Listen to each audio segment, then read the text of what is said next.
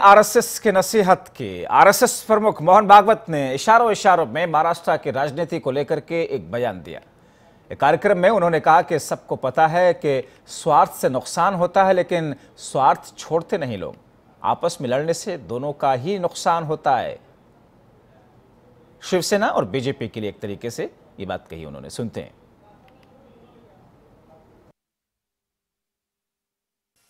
मनुष्य में एक अहंकार है। वो भी प्रकृति का दिया है।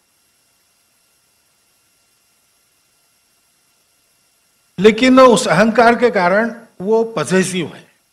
हर बात पर अपना स्वामित्व करना चाहता है। देने में फिर उसको यातना होती ही है। क्योंकि सब अपना है, किसी को देना पड़े तो मेरा जा रहा है। लेकिन देना तो पड़ता ही है। तो देना पड़ता है तो वो देखता है कि कम से कम दिया जाए अथवा कम से कम स्तर का दिया जाए। तो इस, इसको कहते व्यावहारिक बुद्धि। और इसको रखने वाला मनुष्य सामान्य बुद्धि से बड़ा चतुर माना जाता है।